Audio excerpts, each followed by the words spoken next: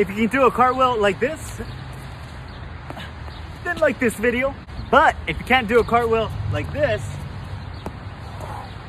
then follow me.